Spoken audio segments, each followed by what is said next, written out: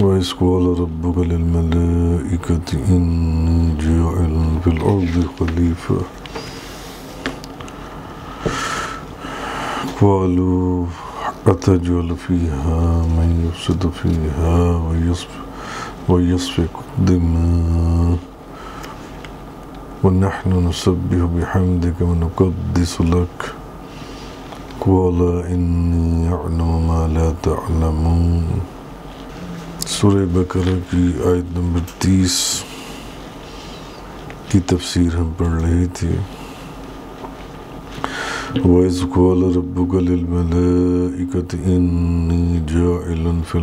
खलीफा।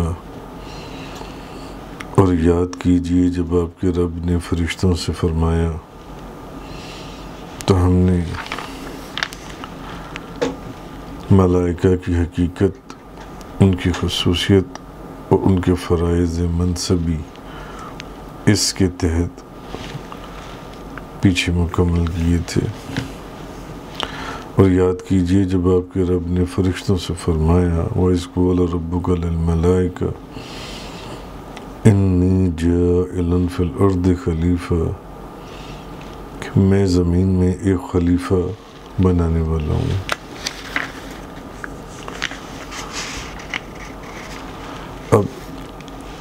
खलीफा की तारीफ़ और उसकी अकसाम क्या है? खलीफा नायब को भी कहा जाता है या कायम मुकाम को भी कहते हैं। नायब या कायम मुकाम उसकी जगह के ऊपर कोई। जब असल शख्स खुद कार हकूमत अंजाम न दे सके तो उसका खलीफा उस वक़्त मुकर्र किया जाता है। मसलन असल शख्स कहीं चला जाए तो आर्जी तौर पर उसकी जगह काम करने के लिए खलीफा मुकर्र करते हैं। उसका नायब या कायम मुकाम, उसके जो कायम मुकाम है। या असल शख्स फौत हो जाए तो उसकी जगह खलीफा मुकर्र किया जाता है। अगर या तो असल शख्स कहीं चला जाए तो आर्जी तौर पर उसकी जगह काम करने के लिए। या असल शख्स फौत हो जाए तो उसकी जगह खलीफा मुकर्र किया जाता है। तो अब अल्लाह ताला जो है, अल्लाह ताला कहीं जाने से भी पाक है और फौत होने से भी पाक है। खुदा कहीं जाने से भी पाक है और फौत होने से भी पाक है। तो फिर उसको खलीफा की क्या ज़रूरत थी? अल्लाह तबारक को। खुदा को खलीफा की क्या ज़रूरत थी?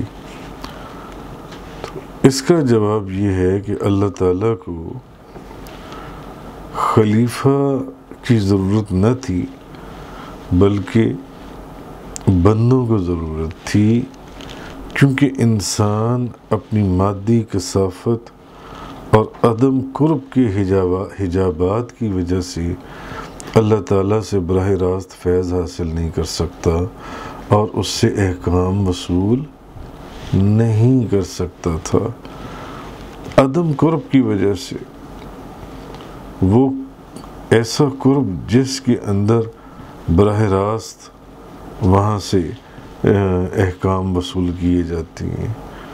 जी, बरह रास्त फैज़ हासिल किया जाता है। तो इंसान अपनी मादी कसाफत की वजह से, मादी कसाफत की वजह से और अदम कुर्ब की वजह से, कुर्ब की हिजाबात की वजह से अल्लाह ताला से डायरेक्ट बरह रास्त फैज़ हासिल नहीं कर सकता था और उससे अहकाम वसूल नहीं कर सकता था। इसलिए अल्लाह ताला ने अपने और इंसानों के दरमियान एक खलीफा बनाया और उसका नाम नबी और रसूल रखा। इसलिए अल्लाह ताला ने अपने और इंसानों के दरमियान में एक खलीफा बनाया। तो इस खलीफा की ज़रूरत खुदा को नहीं थी बंदों को थी बंदों को। क्योंकि बंदे अद, अदम कुर्ब की वजह से और मादी कसाफत की वजह से उससे बरह रास्त अहकाम वसूल नहीं कर सकते थे या बरह रास्त फैज़ हासिल नहीं कर सकते थे इसलिए अल्लाह ताला ने अपने और इंसानों के दरमियान में एक खलीफा बनाया और उसका नाम नबी और रसूल रखा नबी या रसूल रखा और अम्बिया को ऐसी सलाहियत और इस्तेदाद अता फरमाई कि फरिश्तों के वास्ते से या बिला वास्ता अल्लाह ताला से अहकाम हासिल कर सकें।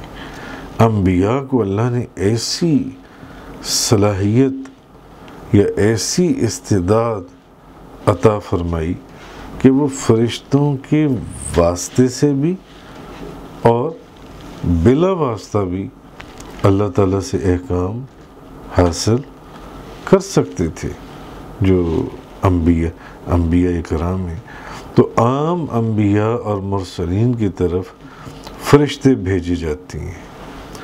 आम अम्बिया और मुरसलीन की तरफ़ फरिश्ते भेजे जाते हैं और जो मुकर्रबीन से अल्लाह ताला ख़ुद भी कलाम फरमाता है। आम अम्बिया कराम जो थे, मुरसलीन थे, उनकी तरफ़ फरिश्ते आते थे, भेजे जाते थे। मगर जो मुकर्रबीन हैं उनसे अल्लाह ताला ख़ुद भी कलाम फरमाता है। जैसे अल्लाह ताला ने हज़रत मूसम से कलाम फरमाया और फिर अल्लाह ताला ने मेराज की रात नबी करीम सल्लल्लाहु अलैहि वसल्लम से कलाम फरमाया। अल्लाह ने मूसा से भी कलाम फरमाया और नबी पाक सल्लल्लाहु अलैहि वसल्लम से भी कलाम फरमाया। तो आम जो अम्बिया और मुरसलीन थे, उनकी तरफ़ फरिश्ते भेजे जाते थे और मुकर्रबीन से अल्लाह ताला ने ख़ुद कलाम फरमाया नबियों के अंदर। तो जैसे हज़रत मूसा से और नबी करीम सल्लल्लाहु अलैहि वसल्लम से अल्लाह ताला ने कलाम फरमाया। तो खलीफा का एक माना ये है, जो अल्लाह का नायब हो और उसका खलीफा। जी, और अल्लाह से अहकाम हासिल करके बंदों तक पहुँचाए तो ये माने नबी और रसूल के मुतरदफ हैं। नबी और रसूल के मुतरदफ। और ख़लीफ़ा का दूसरा माना ये है कि जो नबी और रसूल का नायब और उसका खलीफा हो, और नबी की बयान की हुई शरीयत को लोगों में नाफिज करे। तो एक खलीफा खलीफा का जो अभी हमने ऊपर सारा माना पड़ा है खलीफा का, वो है कि जो अल्लाह का नायब हो और उसका खलीफा हो। जो खुदा का नायब हो और उसका खलीफा हो और अल्लाह से अहकाम हासिल करके बंदों तक पहुँचाए। खुदा से अहकाम वसूल करे और बंदों तक पहुँचाए। तो ये, अब ये खलीफा कौन होगा? नबी या रसूल होंगे। ये जो खलीफा है। मगर खलीफा का जो दूसरा मानी है, वो ये कि जो नबी और रसूल का नायब हो और उसका खलीफा हो और नबी की बयान की हुई शरीयत को लोगों पर नाफिज करे और मिनहाज नबूवत पर हुकूमत चलाए। जी, अब कुरान मजीद के अंदर है वादल्लाजीन आमनू मिनकुम अमल स्वालिहाति ला यस्तखलिफन्नहुम फिल अर्द कमा इस्तखलफल्लजीन मिन कबलहिम। तुम में से जो लोग ईमान लाए हैं और उन्होंने नेक अमल किए, उनसे अल्लाह ताला ने ये वादा फरमा लिया है कि वो उनको ज़रूर ब ज़रूर ज़मीन में खलीफा बनाएगा। जिस तरह उनसे पहले लोगों को खलीफा बनाया था। तो जो लोग ईमान लाए, जो लोग ईमान लाए, जिन्होंने नेक अमल किए, उनसे अल्लाह ने वादा किया कि वो उनको ज़रूर ज़मीन में खलीफा बनाएगा। और जिस तरह पहले लोगों को खलीफा बनाया था। जी तो अब इस आयत में खलीफा का यही दूसरे मानी, मुराद है। यानी नबी करीम, नबी के जो आगे नायब और खलीफा हैं, नबी के आगे जो जो खुदा का खलीफा है अल्लाह का खलीफा वो नबी और रसूल या नबी है या, या रसूल है।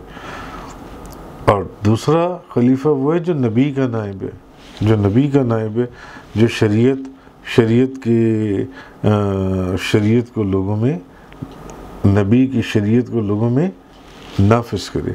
वो तो अब अहल सुन्नत अहल सुन्नत के नज़दीक नस, अहल इश्तहाद के इजमा, जो इश्तहाद करने वाले लोग हैं, उनका इजमा, और नस नस कतई कुरान, और अहल इश्तहाद के अजमा और अरबाब हल अक़द के इंतखब से खलीफा का तकर्र करना जायज़ है।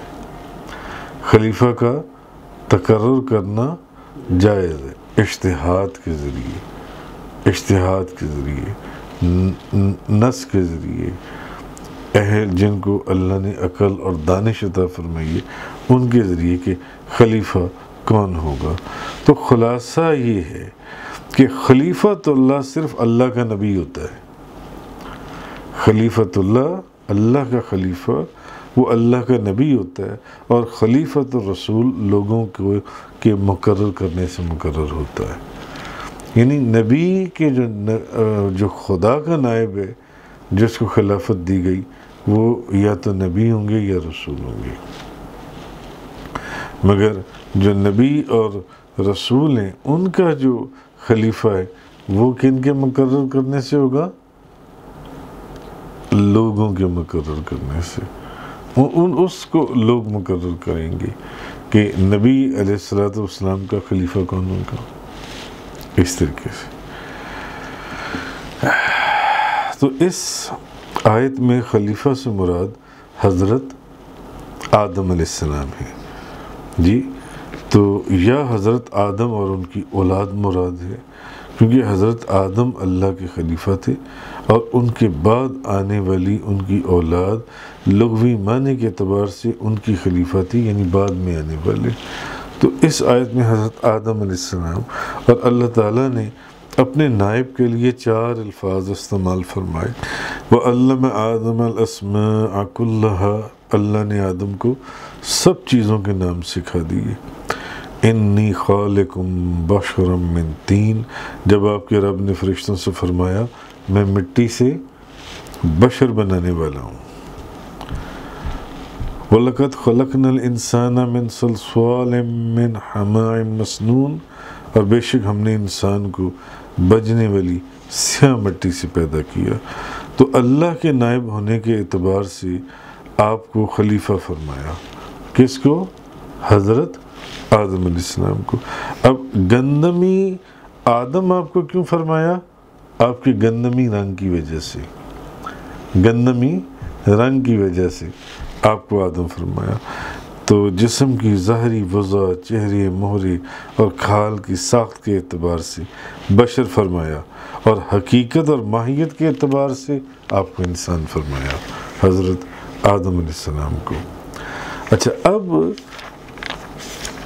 कि वह इस गोला रब का मलाइका, और याद कीजिए जब आपके रब ने फरिश्तों से फरमाया इन नी जान फिल अर्द खलीफा मैं ज़मीन में एक खलीफा बनाने वाला हूँ। मैं ज़मीन में एक नायब बनाने वाला हूँ। कौलू फरिश्तों ने कहा आता जोलफ़ीहा मैं युसदफ़ीहा व यसफ़ुद्दिमा फरिश्तों ने कहा, क्या आप ऐसे शख्स को नायब बनाएँगे जो ज़मीन में फसाद और खून रेजी करेगा?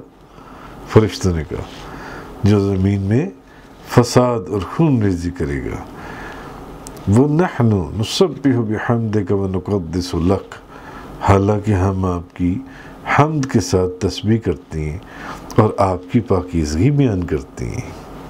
कोला इन्नी अलमून फरमाया, बेशक मैं उन चीज़ों को जानता हूँ जिनको तुम नहीं जानते। मैं उन चीज़ों को जानता हूँ जिनको तुम नहीं जानते। अब अल्लाह ताला ने फरिश्तों से जो फरमाया था कि मैं ज़मीन में खलीफा बनाने वाला हूँ, ये फरिश्तों से मशवरा था? ये फरिश्तों से मशवरा नहीं था। ये फरिश्तों से मशवरा नहीं था। क्योंकि मशवरे का माना है किसी शख्स का किसी दूसरे शख्स की तरफ़ रजू करके किसी एक राय को हासिल करना। ये मशवरे का मतलब है। और अल्लाह ताला अपने काम में किसी की राय हासिल करने से पाक है। अल्लाह ताला अपने काम में किसी की राय हासिल करने से पाक और बरी है। अल्लाह ताला। तो कहने का मकसद ये है कि भाई अगर कोई ये कह, कहता है कि क्या खुदा ने फरिश्तों से मशवरा किया? नहीं खुदा ने फरिश्तों से मशवरा नहीं किया। मशवरा नहीं किया खुदा ने फरिश्तों से। जी क्यों? उसकी वजह यह है कि मशवरे का मतलब यह है कि एक शख्स का किसी एक शख्स का किसी दूसरे शख्स की तरफ़ रजू करके किसी राय को हासिल करना है। और अल्लाह ताला अपने काम में किसी की राय हासिल करने से पाक और बरी है। बल्कि अल्लाह ताला ने तो फिर ये क्या था? जो बज़ाहिर आपको मशवरा दिखाई दे, देता है, बज़ाहिर, फिर ये क्या था?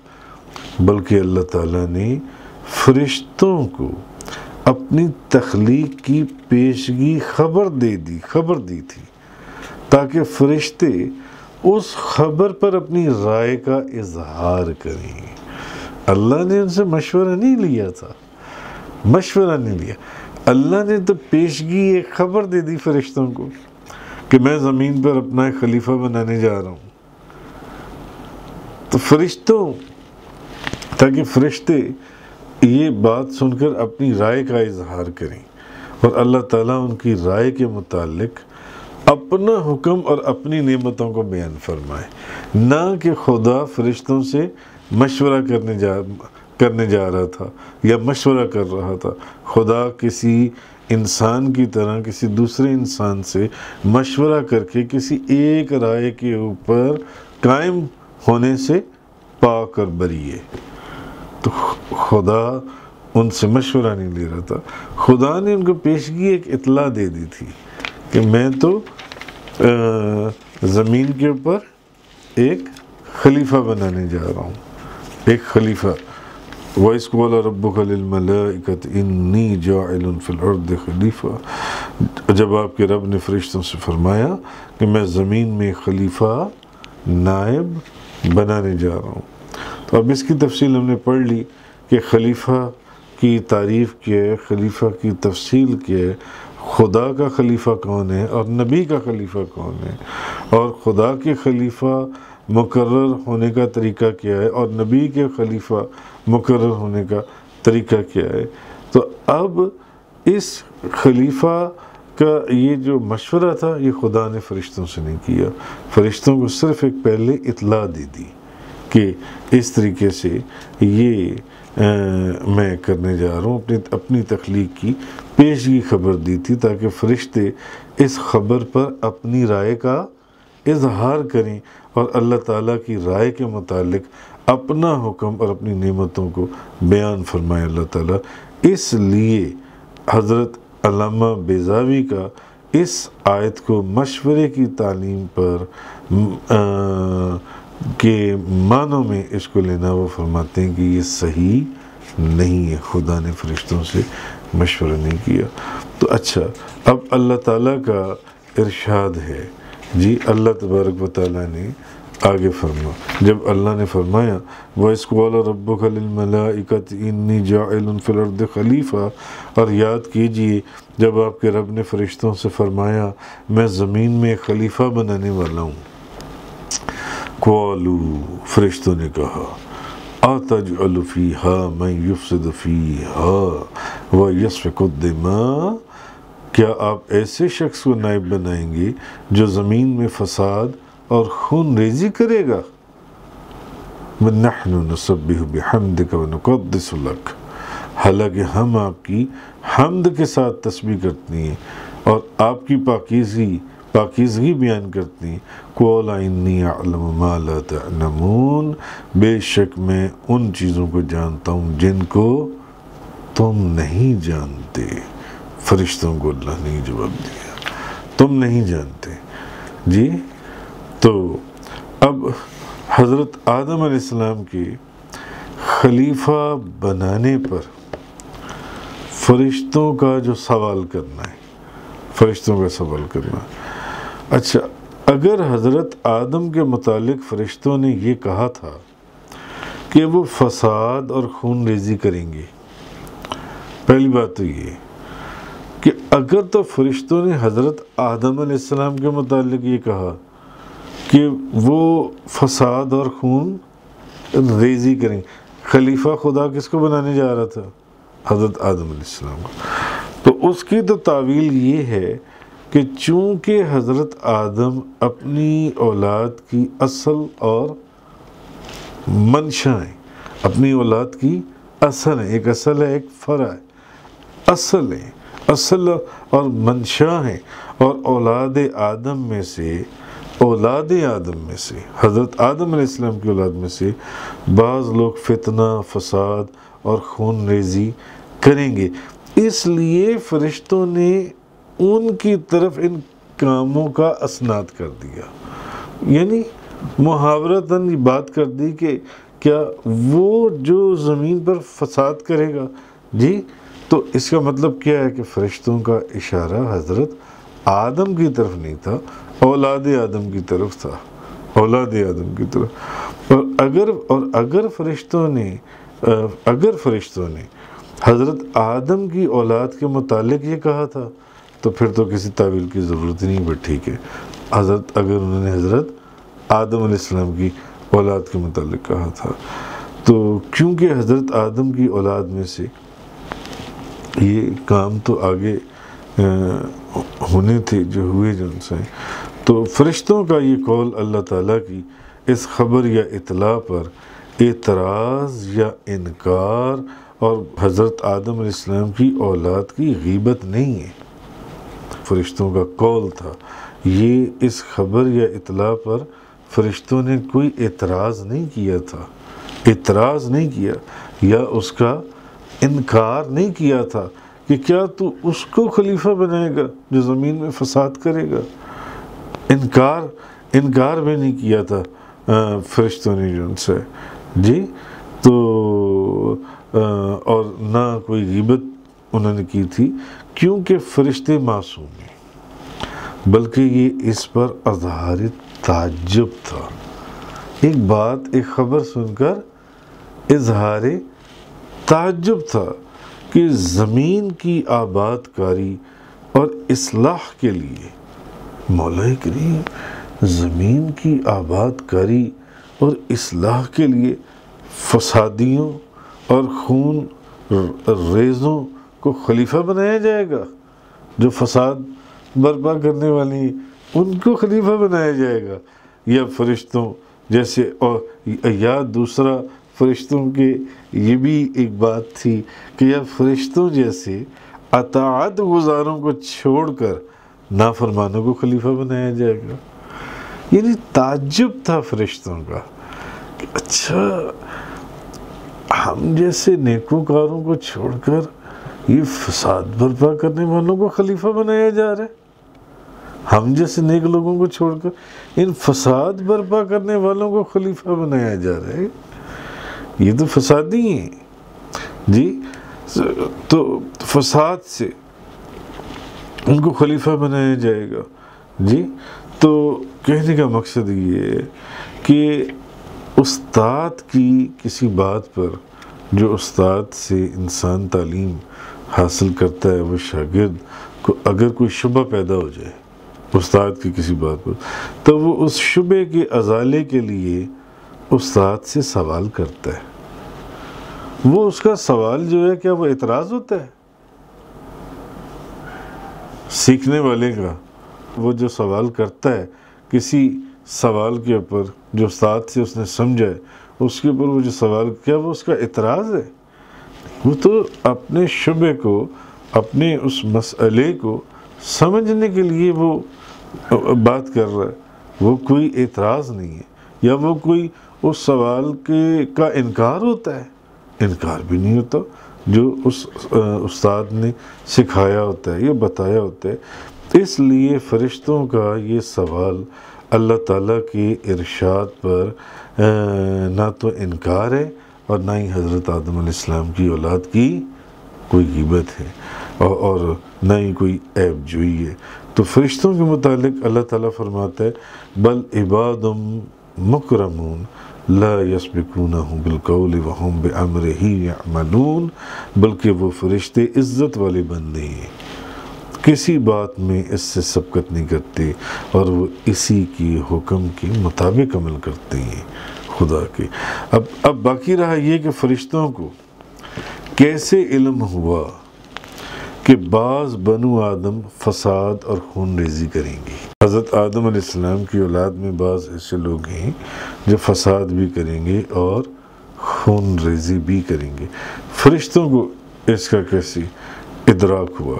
इसका जवाब मुफसरीन ने ये लिखा है कि अल्लाह ताला ने उनको इससे, इसकी इससे मतला फरमा दिया था। या उन्होंने या या फिर, या तो खुदा ने उनको बता दिया था, या फिर उन्होंने लोहे महफूज में सिर्फ़ इतना मुताला किया था कि आदम इस्लाम की औलाद फसाद करेंगे। जी, और जो हज़रत आदम इस्लाम की औलाद के शर्फ और फजीलत का जो मुताला था, उस मुताले से फ़रिश्तों को रोक दिया गया था। वो तहरीर फरिश्तों को दिखाई नहीं गई थी। जितनी तहरीर उनको लोहे महफूज के ऊपर दिखाई गई थी, वो तो उन्होंने देख लिया कि इनमें बाज़ ऐसे भी लोग जो फसाद, इनमें आदम इस्लाम की औलाद जो फसाद करेंगे। मगर जो दूसरी तहरीर थी जिसमें आदम इस्लाम की औलाद की फजीलत और उनका अशरफ होना जो बयान किया गया था, वो उनको नहीं दिखाया गया था। तो क्योंकि वो अगर इसका भी मुताला कर लेते तो फिर तो उनको कोई शुबा न रहता। फिर वो ये, फिर वो ये बात कभी भी ना कहते कि क्या तू उनको खलीफा बनाने जा रहे जो ज़मीन पर फसाद करेंगे?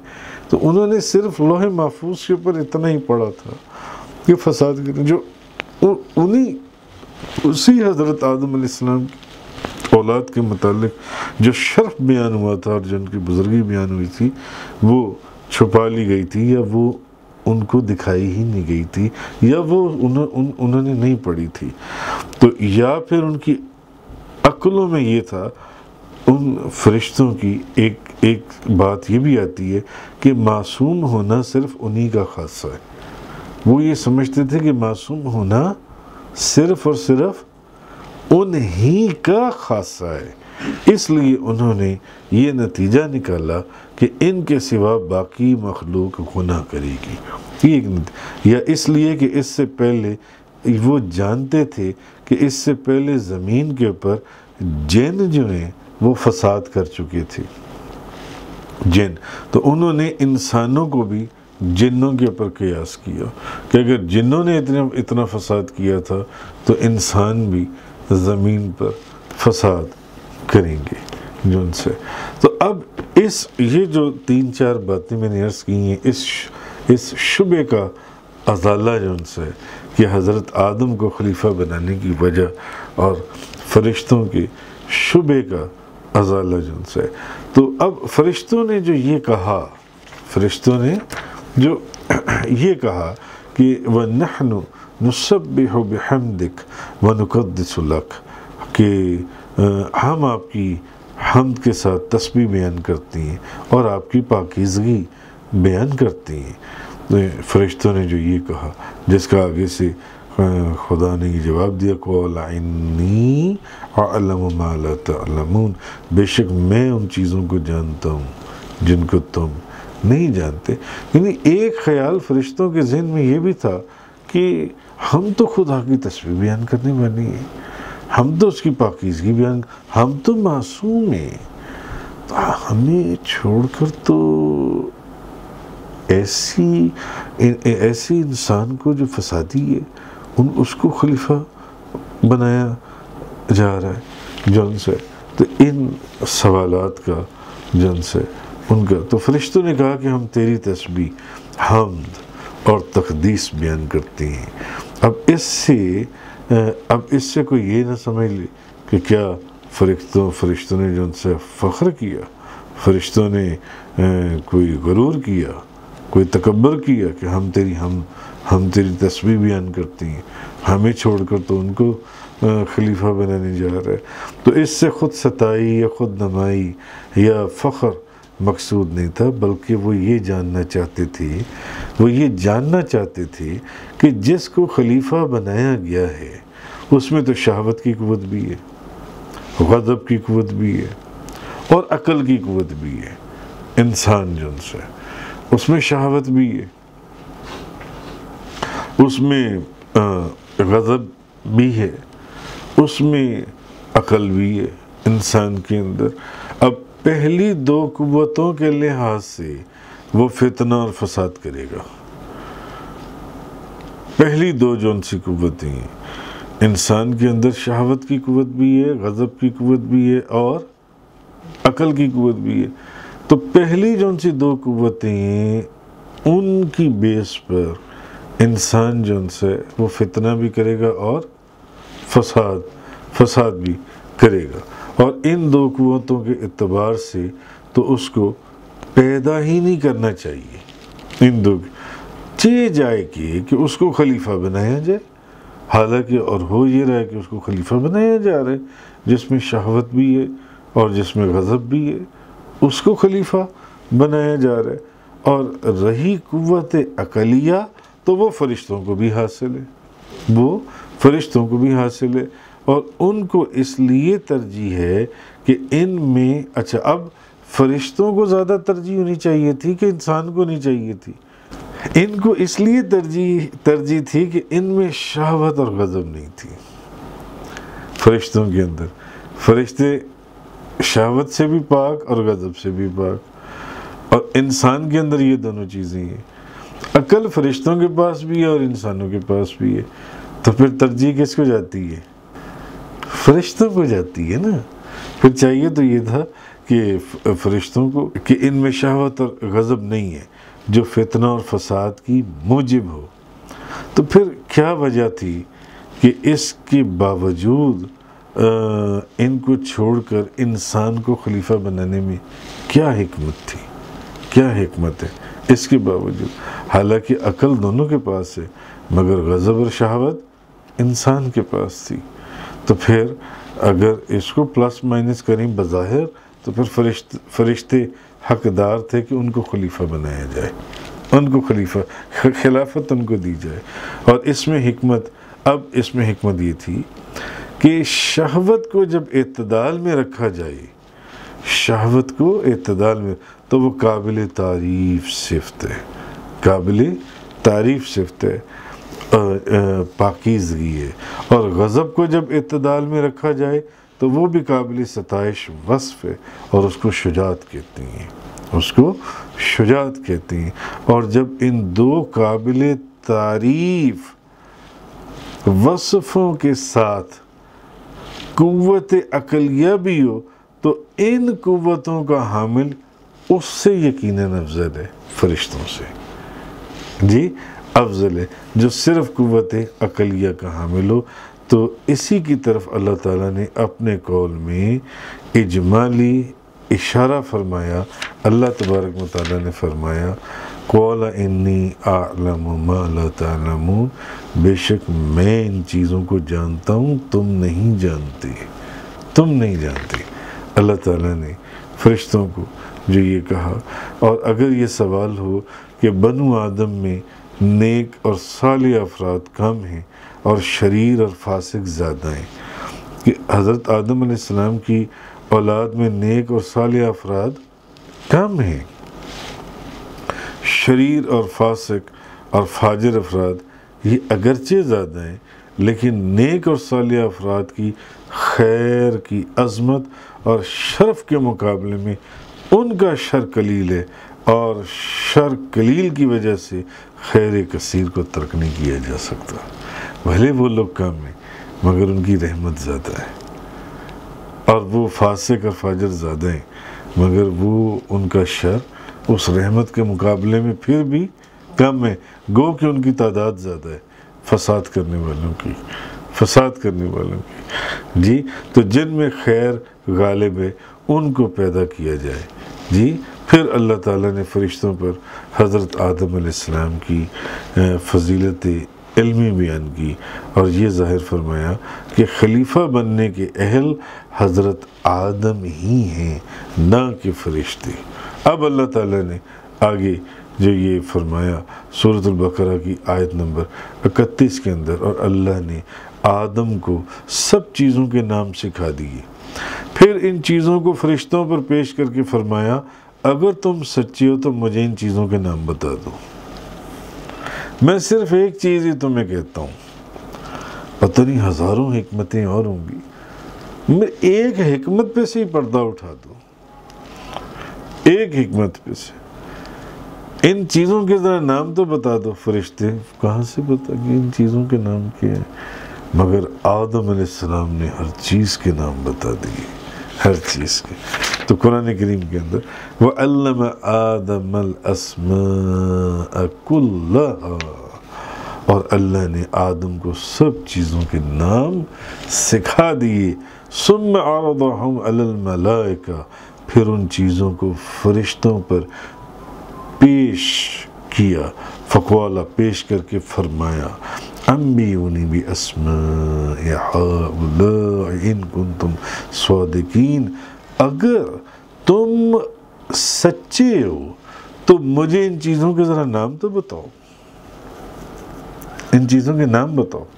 इमाम जलालुद्दीन सयूती आप फरमाती हैं कि हज़रत इबन अब्बास रदी अल्लाह तहुमा से रिवायत है कि हज़रत आदम को आदम इसलिए कहा गया कि उनको अदीमी अर्ज़ यानी हज़रत आदम को आदम क्यों कहते हैं कि उनको ज़मीन की सतह से बनाया गया है।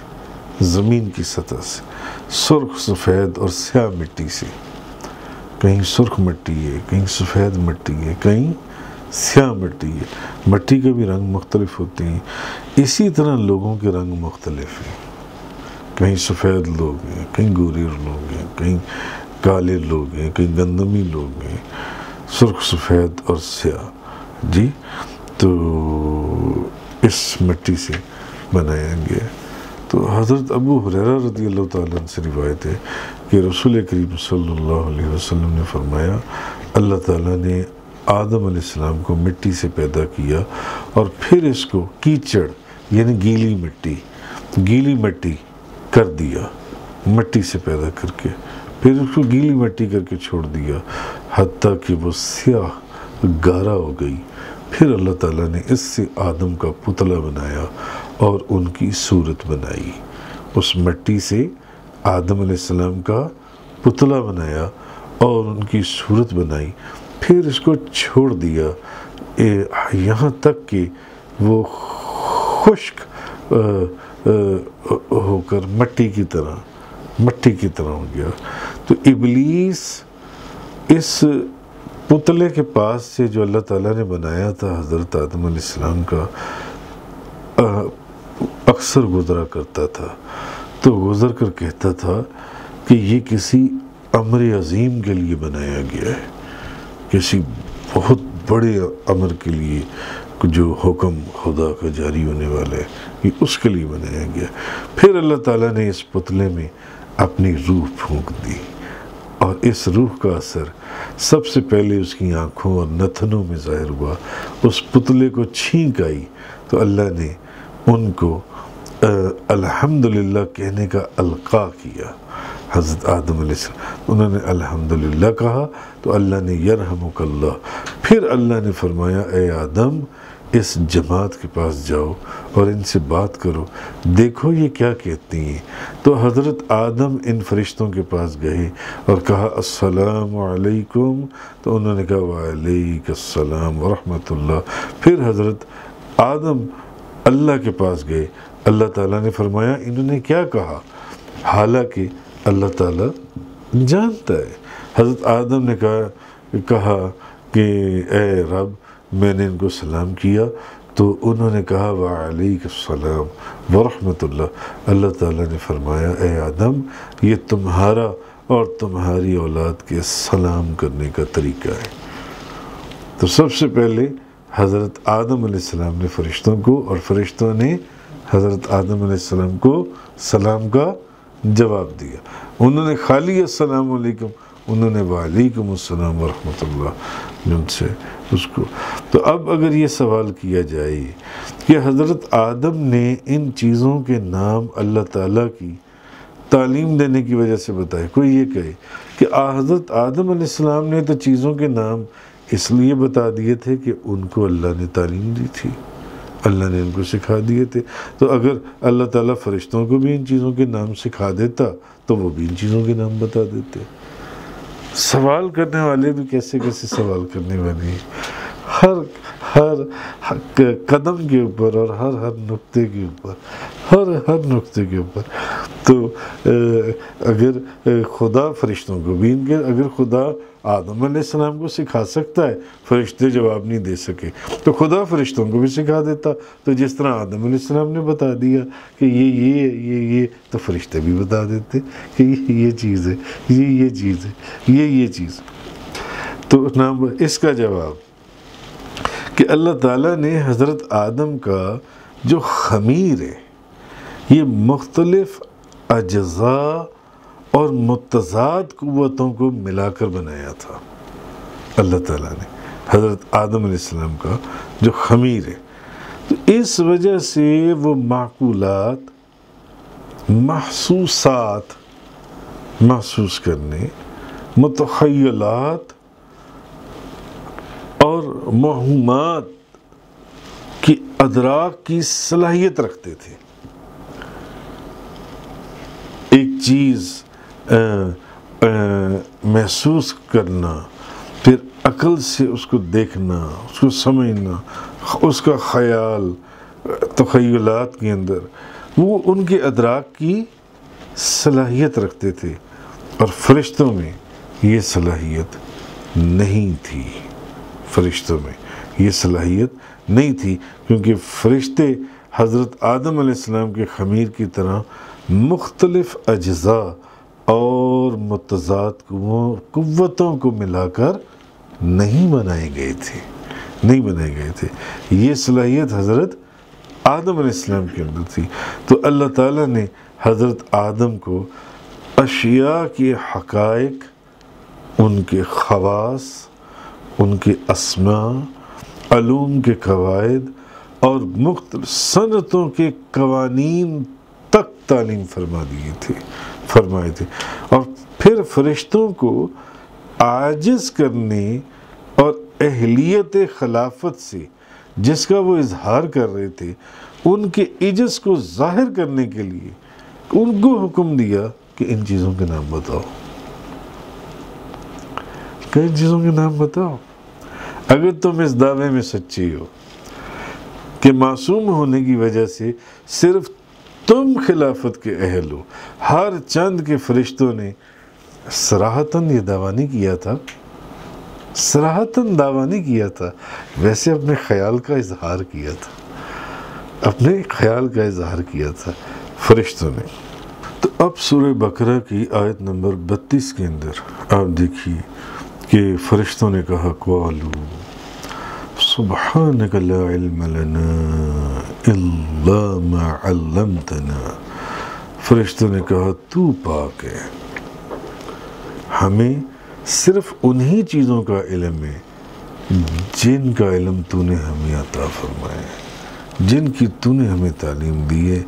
इन का हकीम। बेशक तू ही सब जानने वाला और बड़ी हिकमत वाला है। कौल आदम अम्बिहम बेअस्माइहिम फरमाया आदम, इनको इन सब चीज़ों के नाम बताओ। अम्बअहुम बेअस्माइहिम। जब आदम अलैहिस्सलाम ने इन सब चीज़ों के नाम उनको बता दिए तो फरमाया कौल अलम अकुल्लकुम इन्नी तो फरमाया, कि क्या मैंने तुमसे नहीं कहा था कि मैं ही आसमानों और ज़मीन का गैब जानने वाला हूँ? आलम मा तब्दून वमा कौन तुम तख्तमून और जिसको तुम ज़ाहिर करते हो और जिसको तुम छुपाते थे, वो सब जानता हूँ। तो तफसीर के अंदर यहाँ तक आते हैं कि हज़रत आदम अलैहिस्सलाम को अल्लाह तबारक व तआला ने क़यामत तक की जितनी ज़ुबानें थीं, उन ज़ुबानों के अंदर बाज़ तफसीरों में मैंने यहाँ तक पढ़े कि अब ये चुल्लू जो है, चुल्लू, इस तक का खुदा ने नाम सिखा दिया था कि कहते हैं ना, चुल्लू में डूब के मर जाओ। कभी आपने सुना ही लफ्ज़? चुल्लू में डूब के मर, चुल्लू क्या है? चुल्लू, ये क्या है? अल्लाह ताला ने कि फला ज़ुबान के अंदर इस चीज़ का नाम चुल्लू होगा चुल्लू होगा। अब इस वक्त अगर आप गौर करें तो पाकिस्तान के अंदर कितनी ज़ुबानें बोली जा रही हैं? एक ज़ुबान बोली जा रही है। चार सौ बीस चार ज़ुबानें बोली जा रही हैं। सैकड़ों ज़ुबानें बोली जा रही हैं। आप यहाँ से चले ना कराची तक तो इलाका चेंज करते जाए, ज़ुबान चेंज होती जाएगी। ज़ुबान चेंज होती जाएगी। कहीं सिंधी है, कहीं पश्तो है, कहीं पंजाबी है, कहीं उर्दू है, कहीं रियासती है, सैकड़ों ज़ुबानें बोली जा रही हैं। एक सिंध के अंदर दर्जनों ज़ुबानें बोली जाती हैं। ये इस दौर, सिर्फ़ एक पाकिस्तान के अंदर, पूरी दुनिया में हज़ारों ज़ुबानें बोली जा रही होंगी इस वक्त। चाइनीज़, चाइन, चाइनीज़ के अंदर कितनी ज़ुबानी हैं? कैंटोनीज कोई और है चाइनीज़ कुछ और है। हालाँकि वो भी चाइनीज़ हैं और वो भी चाइनीज़ हैं। कितनी जुबानी, पूरी दुनिया में हज़ारों जुबानी बोली है इस दौर में। तो हज़रत आदम से लेकर अब कितनी लाखों जुबानी होंगी, जो अब तक गुजर चुकी होंगी, अभी आगे कितनी जुबानी आने वाली होंगी। हर ज़ुबान के अंदर, और फिर ये नहीं कि चुल्लू को अरबी में क्या कहते हैं? ना, हर ज़ुबान, जो क़यामत तक आने वाली ज़ुबान थी, हर ज़ुबान के अंदर चुल्लू को क्या कहा जाएगा? हर चीज़ का नाम अल्लाह ने हज़रत आदम अलैहिस्सलाम को सिखा दिया था। तो अगर हज़रत आदम अलैहिस्सलाम को खुदा ने इतना इल्म अता फरमाया था, जो कि एक नबी थी तो नबियों के सरदार के इल्म का क्या कहना होगा? हजूर नबी करीम सल्लल्लाहु अलैहि वसल्लम का जो इल्म मुबारक है, कि हज़रत आदम के इल्म को उनके इल्म से कोई नस्बत ही नहीं है। समंदर के सामने कतरे कतरे की तरह वो इल्म है, हजूर नबी करीम वसल्लम के इल्म के सामने। तो अब एक नबी का इल्म ये है तो नबियों के सरदार का इल्म क्या होगा?